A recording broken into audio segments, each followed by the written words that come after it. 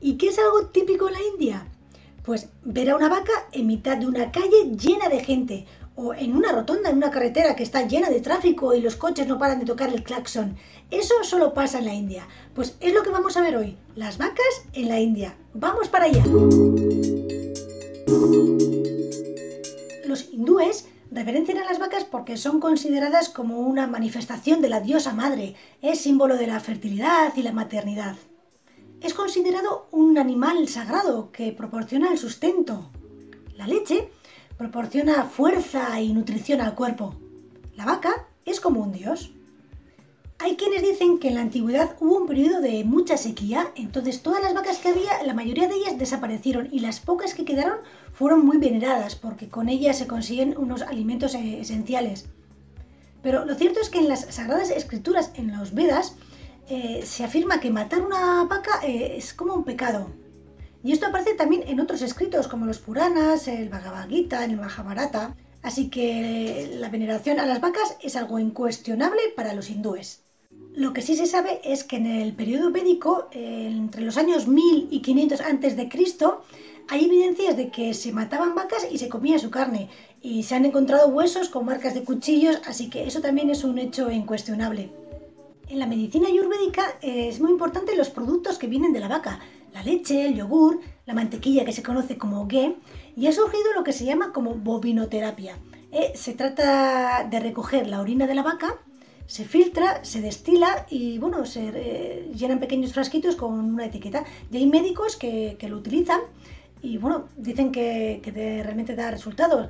Es algo que no está probado, pero su popularidad en la India va en aumento.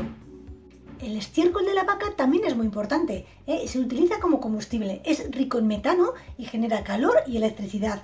Y es muy normal ver en las casas de, la India que están las paredes externas rodeadas con estiércol que la gente lo utiliza cuando necesita cocinar y aparte eh, protege la vivienda de temperaturas extremas.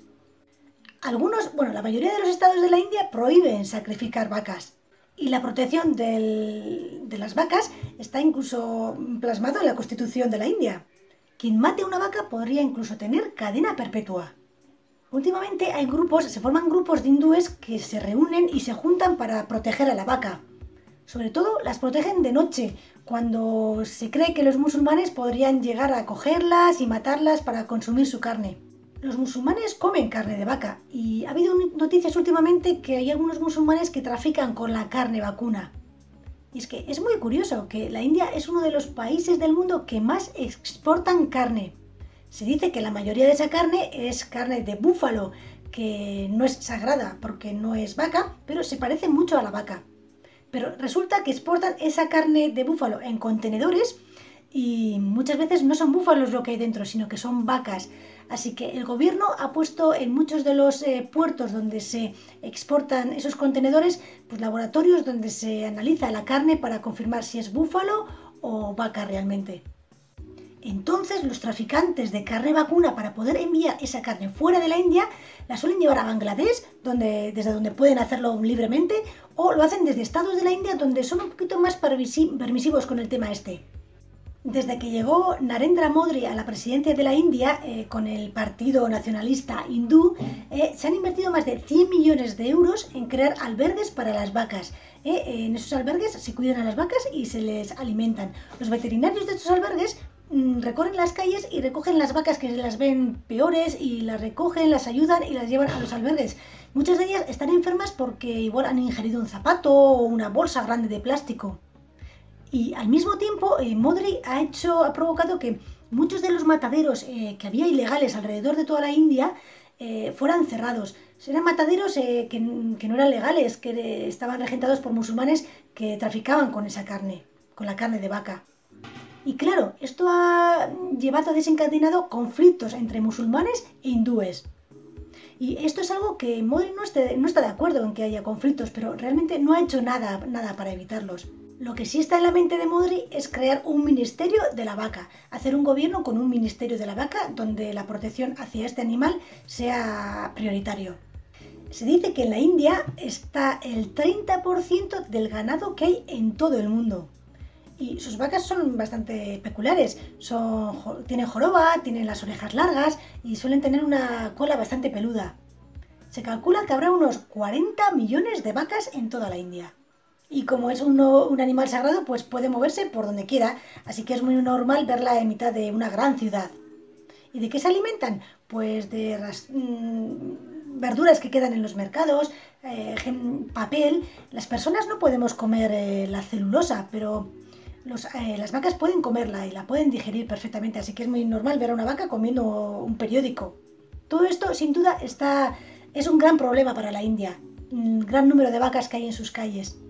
Cuando una vaca no es productiva y no da leche, eh, a su dueño propietario pues no le interesa tenerla, así que la suelta y la deja a su libre albedrío. La verdad es que podemos preguntarnos por qué están las vacas en las ciudades. Podrían estar en el campo, porque allí en el campo tienen hierba y pueden sobrevivir mejor. Pero resulta que el campo eh, tiene propietarios. ¿Eh? Aunque parezca que es una llanura enorme, eh, tiene propietarios y muchos de esos propietarios no tienen dinero igual para hacer una cerca en su, en su terreno y suelen los miembros de las familias hacer turnos para que las vacas no entren en sus mm, terrenos que están cultivados y coman sus cultivos. Si una vaca entra en el campo de un agricultor, este agricultor se acerca a la vaca y con palos intenta alejarla. Entonces, al final resulta, resulta un poco irónico, pero las vacas están realmente más tranquilas en las ciudades que, que en el campo.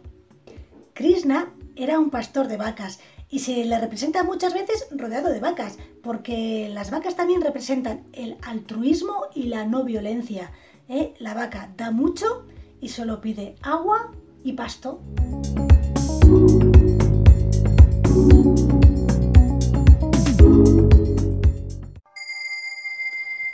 No hay árbol en el mundo que el viento no haya sacudido. Proverbio hindú.